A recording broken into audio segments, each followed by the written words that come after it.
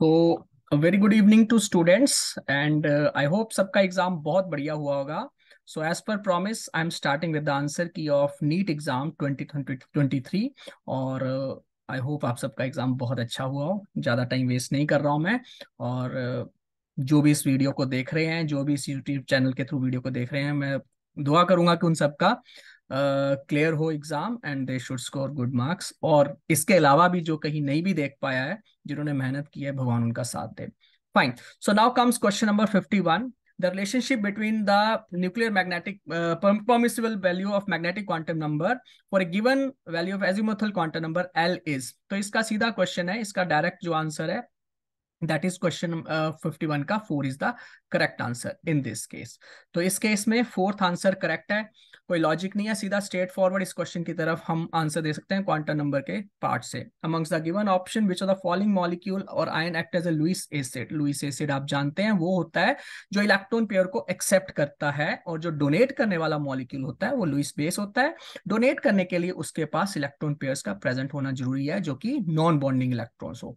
Bonding electrons नहीं donate होते non bonding electrons donate होते हैं। तो इसके हिसाब से आ, हमारे पास जो ऑप्शन बनती है अगर वाटर की बात करें तो वाटर में लोन पेयर रहता है ऑक्सीजन के ऊपर बी में लोन पेयर सेंट्रल एटम के ऊपर नहीं होता है ऑक्टेट पूरा नहीं होता है क्योंकि बी के केस में बोरोन के आसपास तीन बॉन्ड बने हैं टोटल मीन्स की सिक्स इलेक्ट्रॉन है it is deficient of two electrons to complete its octet so that is why B F three will be a Lewis acid O H negative में lone pair है NH three में भी lone pair है। So straight forward answer इसका B F three that will be the correct answer now comes next question number 53 अगर 53 question की बात करते हैं which of the following statements are not correct ठीक है फाइन करेक्ट स्टेटमेंट कौन सी नहीं है? Hydrogen is use to reduce heavy metal oxide to metal ठीक है fine hydrogen as a reducing agent act करता है, बिल्कुल। So it can be acting as a reducing agent कोई बड़ी बात नहीं है इसमें। हाइड्रोजन एज ए रिड्यूसिंग इसके लिए एक्ट कर सकता है। Heavy water is use to study reaction mechanism बिल्कुल हाइड्रोजन का एक्सचेंज होता है। हैवी वाटर यानी कि डी टू ओ ड्यूटेरियम का एक्सचेंज होता है। जो एसिडिक हाइड्रोजन है, उसको ड्यूटेरियम डिस्प्लेस करता है। तो हमें पता चलता है अच्छा यहाँ पे ड्यूटीरियम का एक्सचेंज हुआ है तो इसमें रिएक्शन में ओ एच ऑक्सीजन के साथ एसिडिक हाइड्रोजन प्रेजेंट है। तो that is a very important reaction even structures को इलिसिडेट करने के लिए भी हम हैवी वाटर को यूज़ करते हैं। दूसरी सी चीज़ hydrogen is use to make saturated fats बिल्कुल सही है निकल हाइड्रोजनेशन आप पढ़ चुके हैं फैट्स और ऑयल को हाइड्रोजनेशन सैचुरेटेड फैट्स में कन्वर्ट करने के लिए वी यूज़ दिस रिएक्शन तो ये भी सही है। The HH bond decision enthalpy in low, is lowest as compared to single bond between two atoms of any element. देखो भाई टू एटम्स अगर एलिमेंट के हैं तो हमारे पास ऑक्सीजन है O single bond O nitrogen है नाइट्रोजन सिंगल बॉन्ड एन तो जो भी दो एटम्स ज्वाइन करते हैं, जैसे ओ एन एन तो उस केस में अगर सिंगल बॉन्ड है ठीक है फाइन सिंगल बॉन्ड है डबल बॉन्ड नहीं बात कर रहे हैं ट्रिपल बॉन्ड की बात नहीं कर रहे हैं तो लोन पे और लोन पे रिपल्शन के कारण बॉन्ड वीक हो जाता है।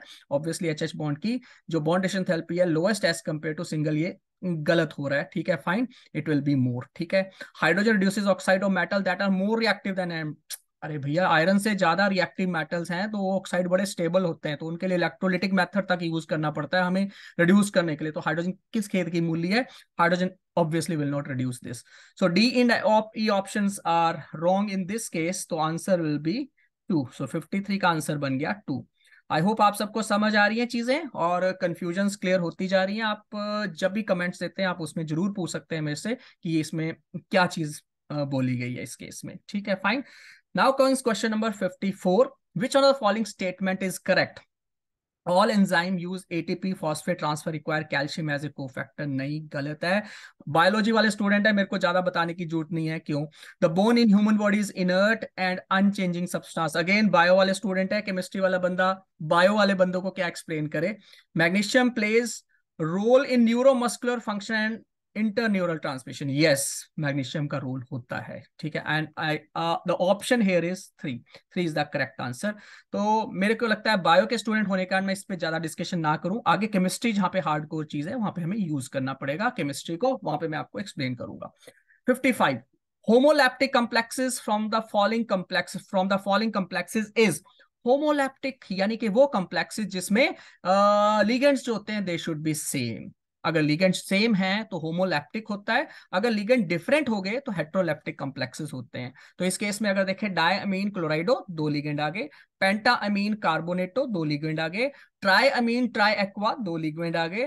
Potassium tri oxalato aluminate okay fine this is all right इस केस में ऑक्सालेट एक ही लिगेंड है। तो answer is four in this question तो 55 का four is the correct answer now comes question number 56 identify the correct identify the A in following reaction अगर आपको ए को इसमें देखना है कि ए क्या है हमारे पास तो आपका ये रिएक्शन है जिसमें दोनों तरफ़ सी डबल बॉन्ड ओ नज़र आ रहे हैं। अगर आप यहाँ पे देखते हो, यहाँ पे भी सी डबल बॉन्ड ओ है, यहाँ पे देखते हो तो यहाँ पे भी सी डबल बॉन्ड है। अगर दोनों के पास सी डबल बॉन्ड ओ है अगर जिंक अमलगम एच यूज़ करते हैं तो zinc amalgam H Clemmensen reduction करता है, बहुत स्ट्रॉन्ग रिड्यूसिंग एजेंट होता है, और स्ट्रॉन्ग रिड्यूसिंग एजेंट होने के कारण ये सीओ को सी में कन्वर्ट कर देगा एल्केन वाले पोर्शन में कन्वर्ट कर देगा, यानी कि जहाँ पे ऑक्सीजन है, वहाँ पे हाइड्रोजन आ जाएगी। तो इस केस में जो सीओ की जगह हाइड्रोजन अगर बनती है so yes this is the correct answer यहाँ पे सीओ की जगह सी एच टू आ गया, यहाँ पे सीओ की जगह सी एच टू आ गया। हाँ डबल बॉन्ड बेंजीन रिंग किया, उसको, इसको कोई फ़र्क नहीं पड़ेगा। क्लेमेंसन रिडक्शन सिर्फ़ कीटोन को रिड्यूस करेगा। ये एल्केन में रिड्यूस करेगा। एल्डिहाइड को एल्केन में रिड्यूस करेगा। बट यस एल्कोहल नहीं बनाएगा ये। This is very important reaction पढ़े होंगे और आई होप आपका आंसर सही होगा।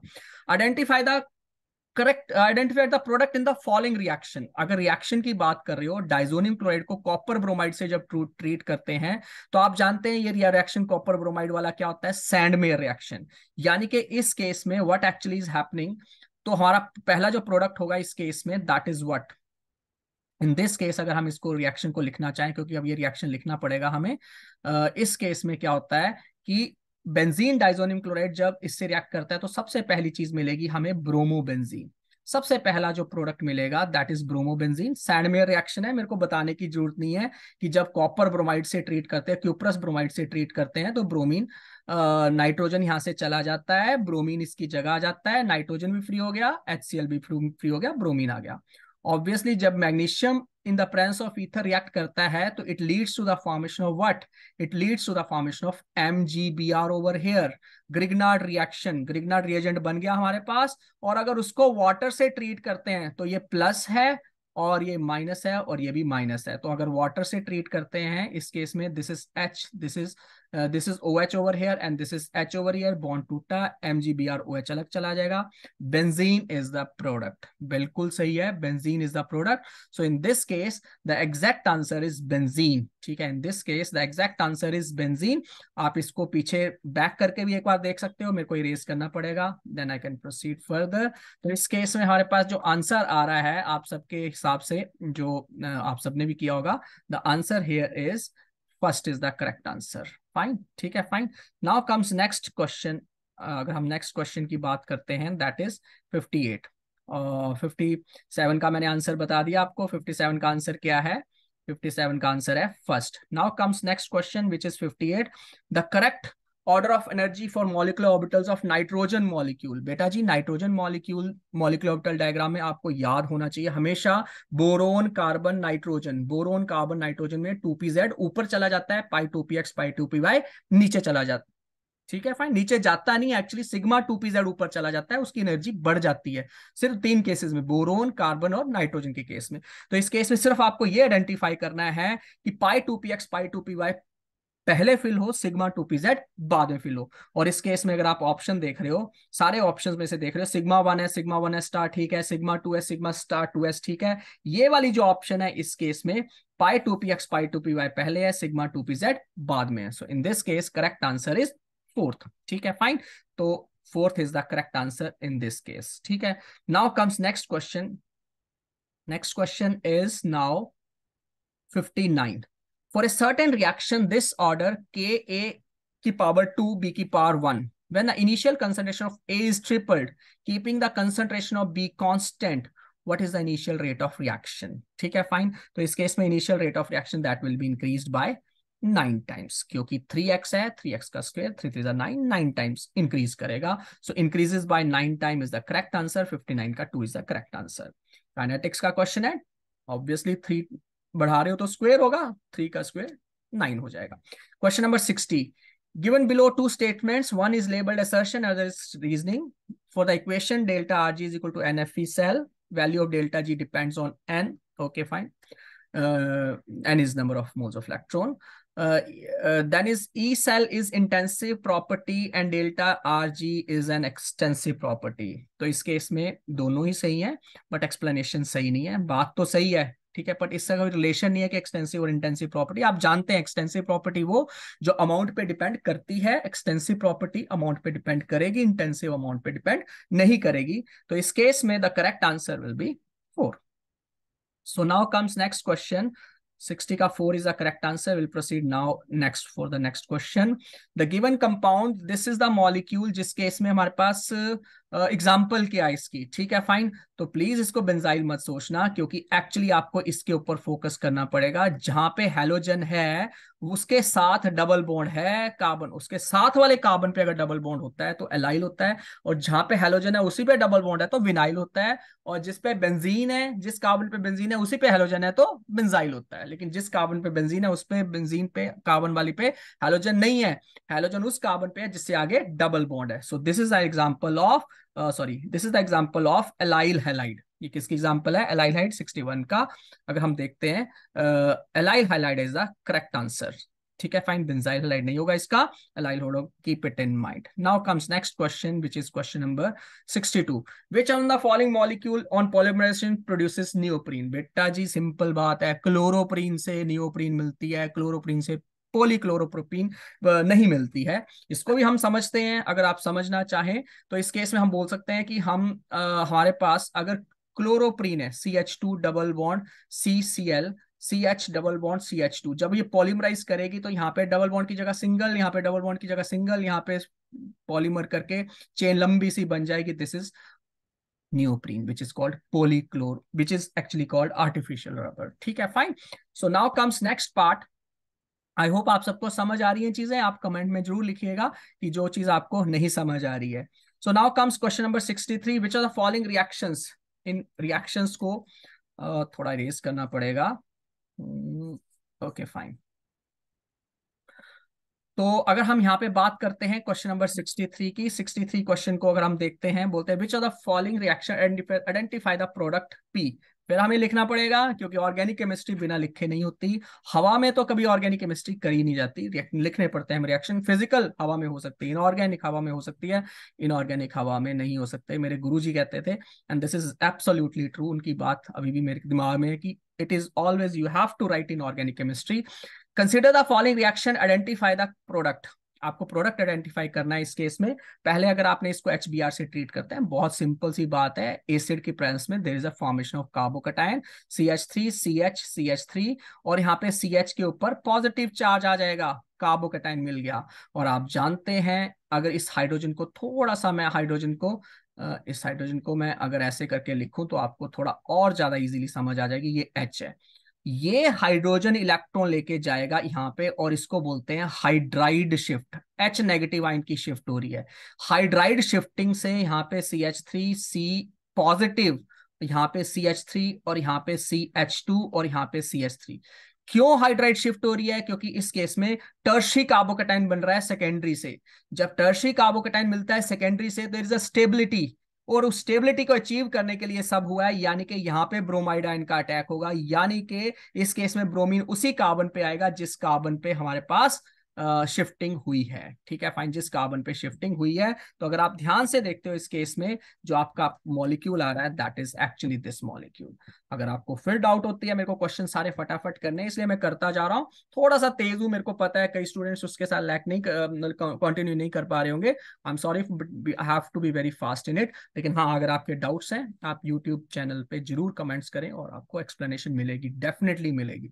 So next is question number this question I think this is clear to all और अगर आप करना चाहें इसको बैक स्क्रॉल करके आप देख सकते हैं कि आप, मैंने कैसे इस रिएक्शन को किया है और दो तीन बार में नहीं समझ आता you can ask the question to me directly so now comes question next अगर आपका ये क्वेश्चन देखते हैं 63 का 4 is a correct answer now comes question number 65 65 question की अगर हम बात करते हैं मैच द लिस्ट है इस केस में लिस्ट एक को लिस्ट ए वाले से हमने मैच करना है सारा का सारा.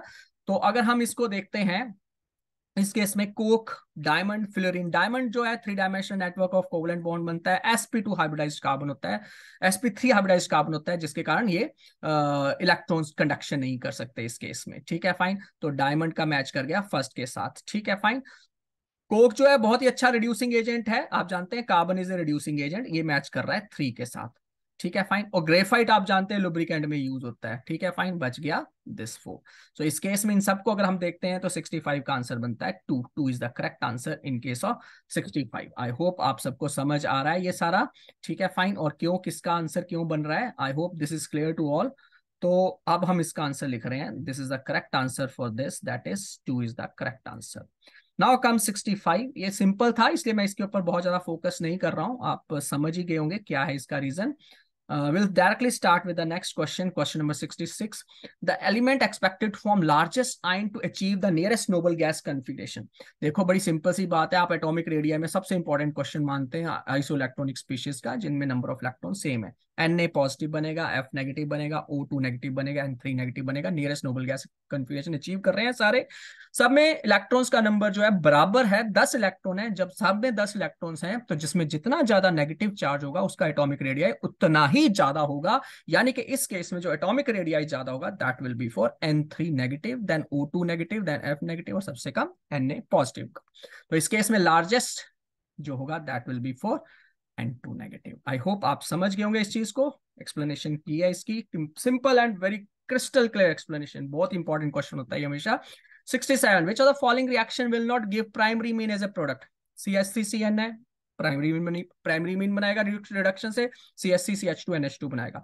सी एस सी एन सी है ऑब्वियसली जब ये रिड्यूस करेगा तो C S C N H C H three बनाएगा। यानी कि इस केस में नाइट्रोजन बीच में आ गया, ये प्राइमरी मीन नहीं बनाएगा। ये पक्की बात है, ये सेकेंडरी मीन बनाएगा। तो 67 का टू आंसर मैच करेगा थर्ड फोर्थ देखने की ज़रूरत नहीं है। बाकी सब में, अगर हम देखते हैं थर्ड में रिडक्शन हुई तो C S three C H two N H two ये हॉफमैन ब्रोमाइड रिएक्शन है फोर्थ हॉफमैन ब्रोमाइड रिएक्शन से C H three N H two मिलता है सीओ बीच में से निकल जाता है। So in this case answer will be two ठीक है, जो मैंने आंसर मार्क कर रहा हूँ कलर्ड पेन से प्लीज़ उसको देखना है ब्लैक पेन वाले आपने नहीं कंसिडर करने हैं। Now comes question number sixty eight the number of sigma and pi bonds and lone pairs of element in pyridine आप जानते हैं पीरिडीन कई बार यूज़ होता है, बेस यूज़ होता है। स्टूडेंट्स को बताया जाता है पीरिडीन बार बार कि ये बहुत यूज़ होता है। पीरिडीन का स्ट्रक्चर ये है। पीसीसी में पीरिडीन पीडीसी में पीरिडीन सॉल्वेंट में pyridine benzene sulphonyl chloride in pyridine Schotten Baumann reaction reaction pyridine pyridine pyridine बहुत ज़्यादा पीरिडीन यूज़ होता है। और अगर स्टूडेंट को पीरिडीन का स्ट्रक्चर नहीं पता है, फिर तो गलत बात है ना इट मतलब इट शुड बी नोन ठीक है? एनसीआरटी से बाहर नहीं है क्वेश्चन ये विद इन द एनसीआरटी है। ये लोन पेयर है, यहाँ पे हाइड्रोजन यहाँ पे हाइड्रोजन यहाँ पे हाइड्रोजन यहाँ पे हाइड्रोजन यहाँ पे हाइड्रोजन अगर आप सिग्मा बॉन्ड गिनते हैं इस केस में one two three four five six seven eight nine ten eleven sigma three pi one lone pair eleven sigma three pi one lone pair तो इसके हिसाब से आंसर क्या बनता है? आंसर बनता है two. Eleven sigma, three pi one lone pair structure बना दिया। आई होप आपको क्लियर है। जहाँ पे कुछ नहीं लिखा है, इसका हाइड्रोजन है। प्लीज़ थोड़ा सा मेरे को टाइम फास्ट करना है, इसलिए मैं उन हाइड्रोजन को नहीं ड्रॉ कर रहा हूँ। आपको समझाने की कोशिश कर रहा हूँ कि कितना समझ पा रहे हैं इस चीज़ को। Now comes question number next which is question number next is sixty nine थोड़ा इरेज करने का टाइम चाहिए होगा।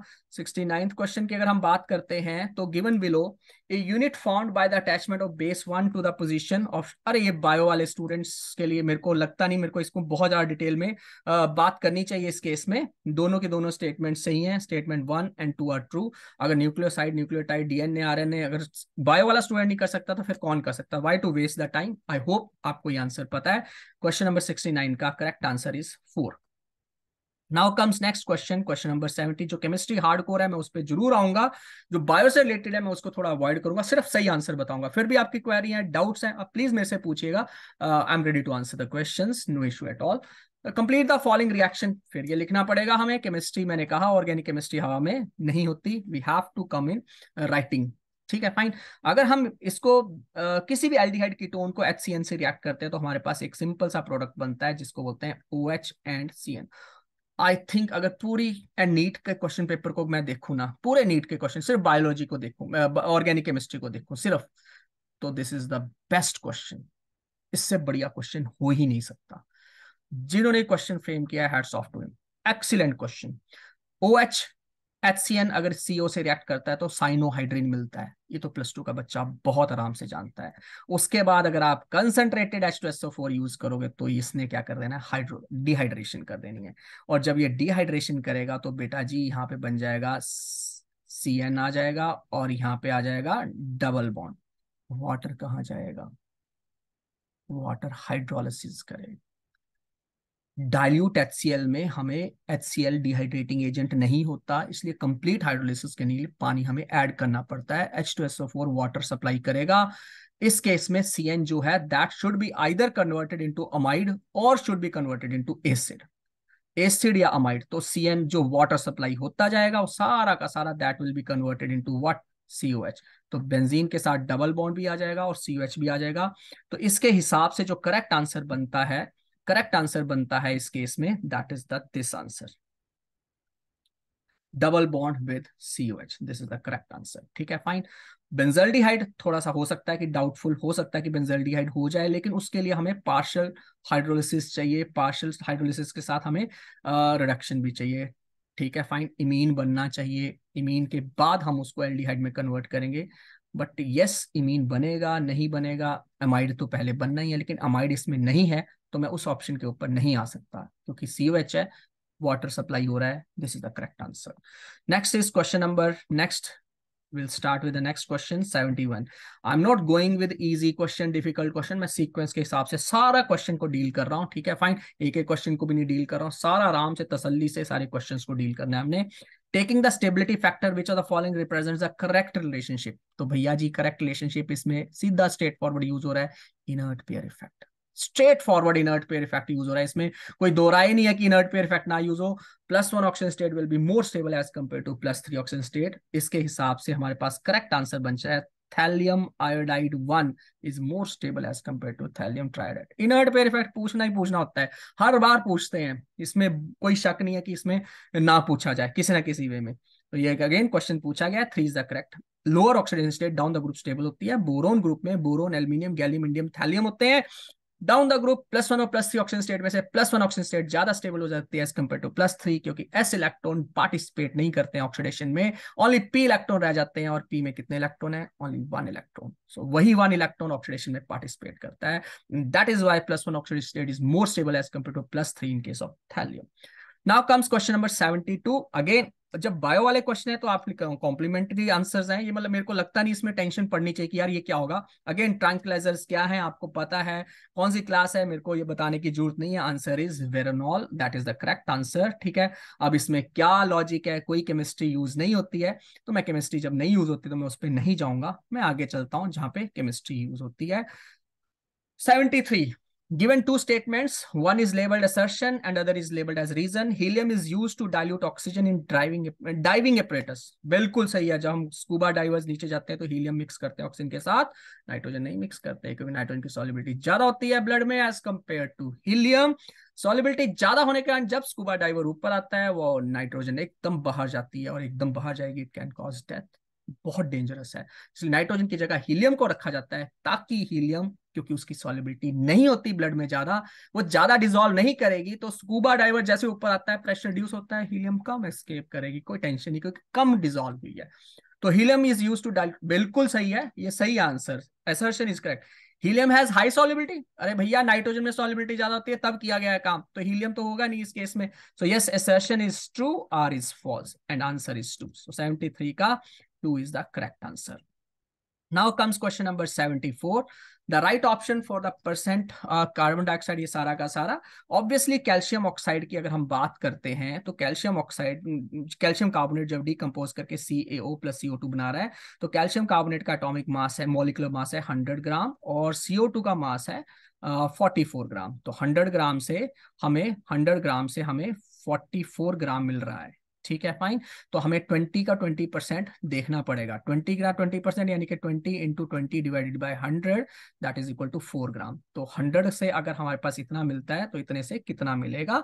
इसको सॉल्व करेंगे answer will be one point seven six ठीक है फाइन क्योंकि हमें ट्वेंटी परसेंट से ही डील करना पड़ना है। ट्वेंटी ग्राम अगर टोटल मास है, उसके से परसेंटेज प्योरिटी निकाल के। So in this case answer will be the correct answer for this question will be first मैं इसकी ज़्यादा डिटेल नहीं जाऊँगा एंड द आंसर इज़ क्योंकि ये स्ट्रेट फॉरवर्ड ही। है answer is one in this case so now comes next question in Lassaigne extract in Lassaigne extract the organic compound both nitrogen and sulphur ये सारा present ये ये जो question है, थोड़ी सी क्या करते हैं, जिसको बोलते हैं ना, जिसने लैब अच्छी की है ना परफॉर्म उनके लिए क्वेश्चन दिया गया है। तो एनओएस ब्लड लेड कलरेशन ये जिसने एक्सपेरिमेंट अच्छे किए होते हैं या स्कूल में एक्सपेरिमेंट अच्छे करवाए होते हैं, उनके लिए एक एडिड एडवांटेज होता है थोड़ा सा। तो इसीलिए स्कूलिंग ज़रूरी होती है स्कूल के प्रैक्टिकल ज़रूरी होते हैं। सारी चीज़ें कोचिंग पे नहीं डिपेंड होनी चाहिए हमें स्कूल के स्कूल की भी डिग्निटी इंपॉर्टेंट है। एंड यस वो स्कूल में करवाया जाता है, जिस स्कूल में करवाया जाता है, उनके लिए इजी है। ठीक है फाइन क्योंकि सीरियसली करवाए जाते हैं प्रैक्टिकल्स तो ये केमिकल फॉर्मूला याद रहता है स्टूडेंट्स को। Given below are the statements. One is labeled assertion, another is labeled as reason. A reactant reaction can have zero activation energy. हो सकती है भैया कोई प्रॉब्लम नहीं है कई रिएक्शन ऐसे होते हैं ज़ीरो एक्टिवेशन एनर्जी रिक्वायर कर सकते हैं फटाफट आप मिक्स करोगे तो they can they can have मतलब थ्रेश एनर्जी एक्टिवेशन एनर्जी के बराबर है मिक्स करोगे रिएक्शन हो जाएगा they have zero activation energy The minimum extra amount of energy absorbed by reactant molecule so that the energy becomes equal to threshold is called activation energy. In the light बिल्कुल। ये भी सही है। Activation energy की definition ही होती है इसमें कोई शक नहीं। ठीक है फाइन एसर्शन सही है रीजन भी सही है और अगर हमारे पास वो गैप कम होगा तो activation energy will be zero so in this case assertion is true and uh, reason is true and reason is correct explanation कोई शक ही नहीं है इसमें। रॉन्ग एक्सप्लेनेशन नहीं है uh, सही एक्सप्लेनेशन है। ठीक है fine so four is the correct answer Question number 77. A compound is formed by two elements A and B. B form cubic close packed structure and atom A occupy one third of tetrahedral voids. तो बेटा जी अगर one third tetrahedral voids हैं तो twice करनी पड़ेंगी. That is two by three. ठीक है fine तो जब टू बाई थ्री हो गया फॉर्मूला तो टू बाई थ्री के हिसाब से हमारे पास फॉर्मूला बन जाएगा ए टू बी थ्री ठीक है फाइन अगर नहीं समझ आया थोड़ा सा मेरे को बताना पड़ेगा. एम सॉरी मेरे को टाइम देना पड़ेगा इसमें. एक कंपाउंड टू एलिमेंट्स है. बी क्यूबिक क्लोज पैकिंग में है तो बी वन हो गया. A one third one third को टू से मल्टीप्लाई कर दिया टू थर्ड तो यानी कि हमारा फॉर्मूला बन गया ए टू बाई थ्री और बी वन थ्री से मल्टीप्लाई किया तो ए टू बी थ्री बन गया। टोटल हमारे पास फाइव है। सो आंसर फाइव ठीक है फाइन आई होप समझ गए होंगे आप। इसमें टोटल पाँच फॉर्मूले में टोटल पाँच आ जाएँगे। एक्स प्लस वाई को करेंगे तो। ठीक है fine so in this case answer is answer is five seventy seven का answer five now comes next question seventy eight the stability of copper two positive is more stable than copper positive in aqua solution भैया, ये अगर NCERT अच्छी तरह की है तो NCERT का क्वेश्चन है और बहुत बढ़िया क्वेश्चन है। कॉपर आयन दो ऑक्सीडेशन स्टेट ऑक्सीबिट करता है प्लस वन और प्लस टू डिस्प्रपोर्शनेट रिएक्शन में करवाया जाता है। CU plus give rise to CU two positive and copper two positive और कॉपर देता है। तो सीयू टू पॉजिटिव जो है क्यों? क्यों ये डिस्प्रोपोर्शनेट रिएक्शन में देता है? क्यों होता है ये? क्योंकि कॉपर टू पॉजिटिव ज़्यादा स्टेबल होता है ड्यू टू हाइड्रेशन एनर्जी जितना ज़्यादा पॉजिटिव चार्ज होता है, उतना ज़्यादा वाटर मॉलिक्यूल अटैच करते हैं और जितने ज़्यादा वाटर मॉलिक्यूल अटैच करेंगे, उतनी ज़्यादा हाइड्रेशन एनर्जी रेज करती है। उतना ज़्यादा मॉलिक्यूल स्टेबल होता है, उतना ज़्यादा आयन स्टेबल होता है। सो इन दिस केस 78 का आंसर बन गया। Two two is the correct answer Now comes question number 79. Select the correct statement from the following. Atom of all elements are composed of two fundamental particles. Fine. तो इस case में हमारे पास to fundamental particles नहीं होते, तीन fundamental particles होते हैं मास बिल्कुल 9.1 point one into ten to minus thirty one K G होता है ऑल आइसोटॉप्स की same show same chemical properties कोई डिफरेंस नहीं होता chemical rate of reaction different होता है दैट इज़ वेरी इंपॉर्टेंट पर ये लिखा नहीं है इसमें B C is correct next is protons and electrons are collectively known as nucleon. ना भैया, ना न्यूक्लियन में इलेक्ट्रॉन नहीं आएँगे। Next is E Dalton atomic theory regarded regarded the atom as an ultimate particle of matter बिल्कुल regard किया था उसने। ठीक है फाइन सो ए इसके आंसर जो होंगे that will be B C and E are correct यानी कि third is the correct answer for this question yes absolutely correct now comes next question इसके आगे डील कर रहे हैं हम। एंड ये है स्टेट्स ऑफ़ मैटर से क्वेश्चन डिलीटेड टॉपिक्स में से। Uh, ये क्वेश्चन जो है बॉयल्स लॉ के ऊपर बेस्ड है तो बॉयल्स लॉ के ऊपर बेस्ड क्वेश्चन आप जानते हैं। Graphical question Boyle's law Charles law इन्होंने देने ही होते हैं। Pressure is inversely proportional to volume यानी कि हम बोल सकते हैं P is equal to K one by V तो y is equal to M X plus C C intercept zero है। Y और x y एक्सिस पे हमने p प्लॉट किया। और एक्स एक्सिस पे वन ओवर वी प्लॉट किया तो हमारे पास के आ जाएगा स्लोप और स्लोप जो के आती है स्लोप जो के आती है that is equal to that is directly proportional to temperature क्योंकि K is equal to NRT shortcuts के हिसाब से बोलते हैं। अगर आपको समझना है तो मैं समझ सकते हो, पर मैं यहाँ पे बताता हूँ K is direct proportional to T slope is direct proportional जितना ज़्यादा स्लो जितना ज़्यादा टेम्परेचर उतनी ज़्यादा स्लो तो बिल्कुल सही है। फ़र्स्ट ऑप्शन बहुत सही तरीके से इसको मैच करवा रही है। टी थ्री ज़्यादा है टी टू कम है, क्योंकि स्लोप ज़्यादा है। टी थ्री की स्लोप ज़्यादा है टी टू की स्लोप कम है टी वन की स्लोप उससे भी कम है। This is T one this is T two this is T three theta clear है सभी को? ठीक है fine one is the correct answer बिल्कुल सही मैच कर रहा है। और इसको मैं, इसके बाद मैं डील नहीं करूँगा कि हाँ भी अगली ऑप्शन को देखूँ, क्योंकि ये ऑप्शन में कोई कमी है ही नहीं। तो मैं इसी को टिक करूँगा। अगर इससे ज़्यादा ऑप्शन सही होती हैं तो फिर we have to change the question I मैं तो कोई अथॉरिटी नहीं हूँ बट यस जो अथॉरिटीज हैं, वो चेंज कर सकते हैं, लेकिन ये ऐसा होगा नहीं। प्रेशर और वन और वी का ग्राफ प्लॉट करते हैं, ऐसा नहीं आएगा। पी और वी का प्लॉट आता है, गलत है। वन और बी की जगह वी होता तो सही आंसर होता। वॉल्यूम से कोई टेंशन टेम्परेचर तो हमें पता ही आपको कांस्टेंट लेते हैं। Again that is the thing इस केस में देखो क्या किया T three is greater than अगर ये टी थ्री ऊपर होता टी टू नीचे होता टी वन बिल्कुल सही था पी और वी का, अगर हम ग्राफ प्लॉट करते ये सही आता, बिल्कुल सही आता, लेकिन यहाँ पे गलत कर दिया, ये गलत कर दिया। अगर ये थोड़ा सा चेंज कर देते तो आंसर ये भी मैच करता, लेकिन ये आंसर मैच नहीं कर रहा है। First is a correct answer now comes question number 81 81 की अगर हम बात करते हैं तो इस केस में intermolecular forces of attraction and repulsion between intermolecular forces molecule के बीच होती है। Dipole dipole attraction intermolecular force है। Van der Waals forces intermolecular force है। हाइड्रोजन बॉन्डिंग इंटरमोलिकुलर फोर्स है। आयनिक बॉन्डिंग इंटरमोलिकुलर फोर्स नहीं है। कोवलेंट बॉन्डिंग इंटरमोलिकुलर फोर्स नहीं है। तो इस केस में देखते हैं कोवलेंट बॉन्डिंग आ गई एक तो ये तो खत्म होगी जी बात।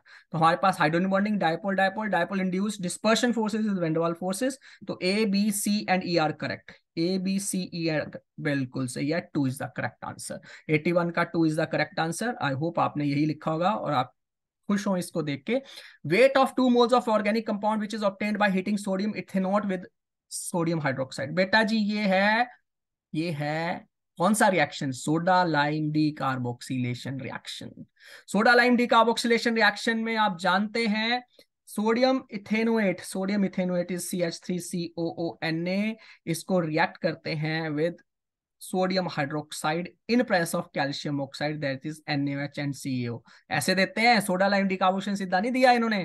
तो इससे क्या मिला? सी एच फोर मिल गया और साथ में N A two C O three is free तो two moles of C H four is equal to what thirty two so answer is thirty two first is the correct answer in this case तो इसमें कोई doubt नहीं होनी चाहिए।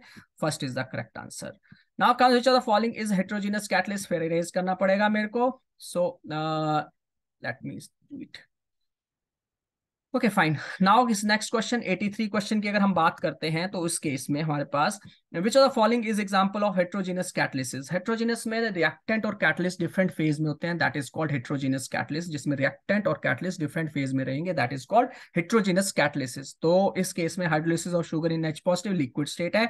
Decomposition ozone nitrogen oxide gas और gas है, नहीं होगा. ये होमोजीनस है. जिसमें रिएक्टेंट और कैटलिस्ट डिफरेंट फ़ेज़ में वो चाहिए हमें. Combination nitrogen hydrogen in the presence ammonia to form ammonia in the presence of finally divided iron बिल्कुल सही आयरन सॉलिड है, नाइट्रोजन, हाइड्रोजन, गैसियस है। ये आंसर बिल्कुल हेट्रोजिनस को मैच कर रहा है। अगला देखने की ज़रूरत नहीं है, लेकिन चलो देख लेते हैं। Sulphur dioxide into sulphur trioxide the presence oxide सारे गैसियस हैं, ये होमोजिनस कैटलिसिस है। ठीक है fine so answer is three now comes next part, which is question number 84 given below two statements, assertion and other is reason. Metallic sodium dissolved in liquid ammonia to give deep blue color, which is paramagnetic. क्यों paramagnetic unpaired electron के कारण। क्यों colour देता है? Ammoniated electron के कारण। वो electron ऊपर जाते हैं, वापस आते हैं कलर प्रोड्यूस करते हैं। So ammoniated electron is the answer for this question तो इस केस में हमारे पास आंसर बना ए तो सही है, ये सही है। The deep blue solution is due to amide ना भैया, ना। अमाइड नहीं। अमाइड तो रिएक्टेंट प्रोडक्ट बना रहा है अमाइड नहीं है। ब्लू कलर इलेक्ट्रॉन के कारण है। तो देर शुड बी इलेक्ट्रॉन अगर इलेक्ट्रॉन होता तो आंसर रीजन सही होता। Otherwise assertion is true reason is false two is the correct answer for the question number question number 84 so 84 ka 2 is the correct answer now comes question number 85 85. Among the following total number of species not having 8 electron around the central atom in the outermost shell. NH3 में 8 होते हैं AlCl3 में 6 होते हैं BeCl2 में 2 होते हैं तो दो तो हो गए CCl4 में 4 होते हैं खत्म PCl5 में 10 होते हैं 8 नहीं 10 हैं तो ये भी 8 नहीं है 8 से ज़्यादा ज़रूर है 10 है लेकिन ठीक है फाइन तो तीन हो गए हमारे पास so answer is three NH3 होते हैं सीसीएल फोर में होते हैं, बाकियों में नहीं होते। आठ से ज़्यादा नहीं बोला है, आठ ही बोला है। तो हैविंग एट इलेक्ट्रॉन्स तो बिल्कुल सही है।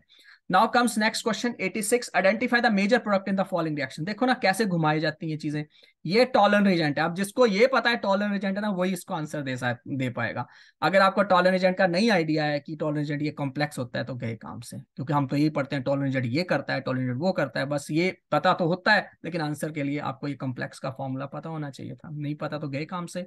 सो इस केस में हमारे पास एल्डिहाइड को ऑक्सीडाइज करता है कीटोन को ऑक्सीडाइज नहीं करता यानी कि ये वाला पोर्शन सीओएच में कन्वर्ट हो जाएगा, दूसरा पोर्शन सीओएच में कन्वर्ट नहीं होगा। तो इस केस में ये रिएक्ट लिखने की ज़रूरत नहीं है। In this case answer is two 2 is the correct answer for question number 86 now comes question number 87 uh, match the list one with peroxo disulfuric acid. Acid मेरे को स्ट्रक्चर ड्रॉ करने पड़ेंगे। कोई ऑप्शन है नहीं मेरे पास तो टाइम लगेगा थोड़ा but yes we have to draw तो इस केस में peroxo disulphuric acid peroxo disulphuric acid का structure S double bond O double bond O O H O S double bond O double bond O O H ये बनता है परोक्सो sorry pyrosulphuric acid ठीक है fine सी ये बन गया सी पायरोसल्फ्यूरिक एसिड कोलियम जिसको बोलते हैं.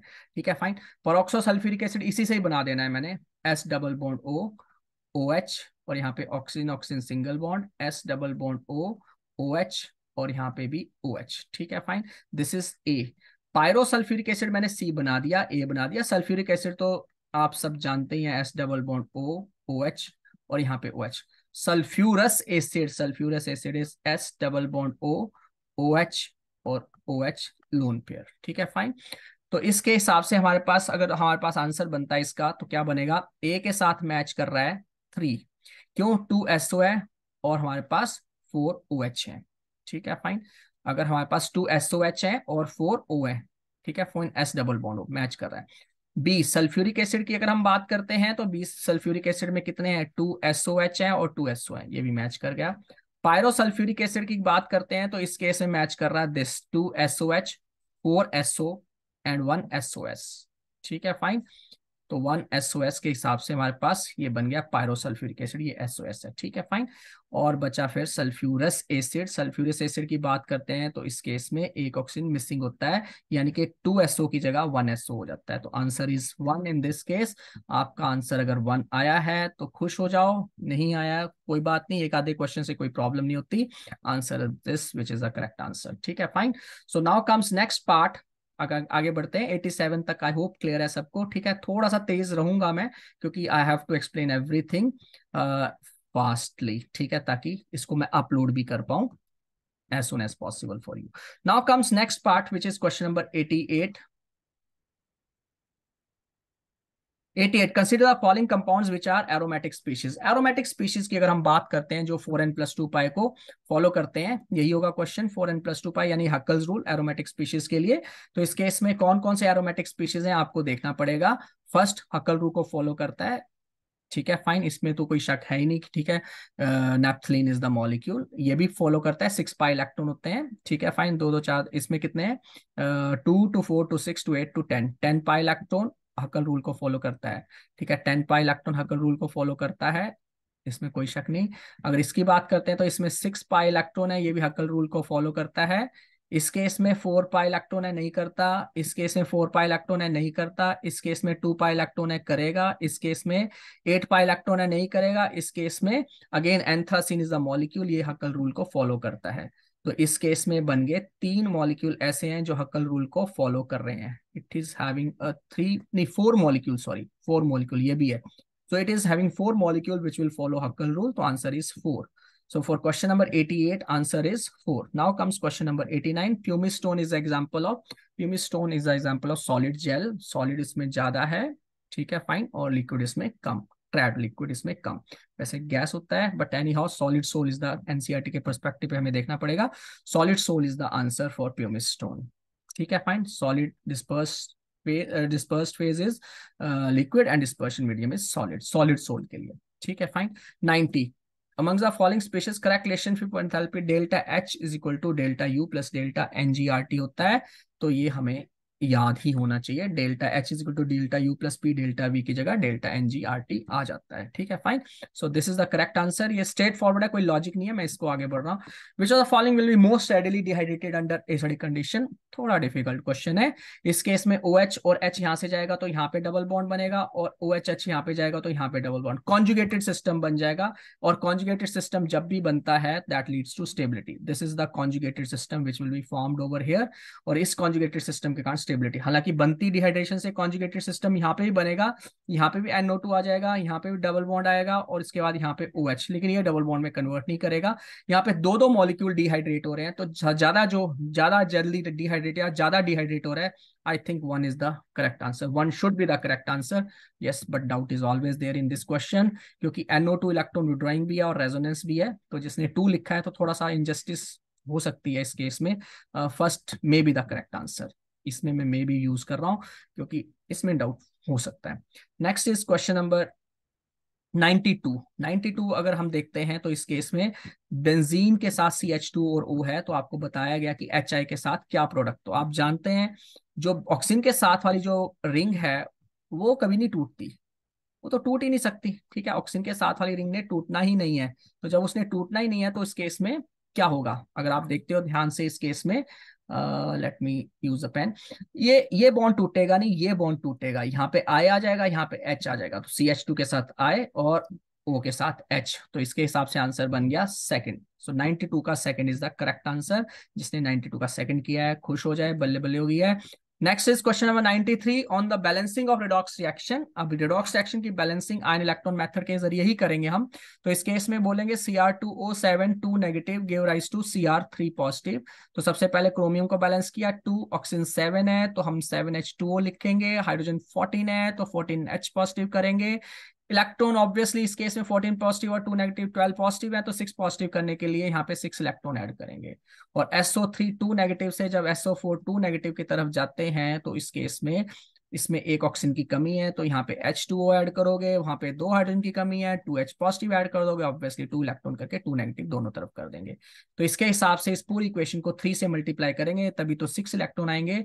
तो इसके हिसाब से हमारे पास क्रोमियम में अगर हम इसको डिफरेंट कलर यूज़ कर लेते हैं तो क्रोमियम में वन आ गया, ठीक है फाइन और सल्फेट में कितना आ गया? थ्री आ गया, ठीक है फाइन और हमारे पास हाइड्रोजन में कितना आ गया? फोर्टीन पॉजिटिव यहाँ पे है, और ये six positive three two six positive six positive fourteen कितना बचा देगा यहाँ पे?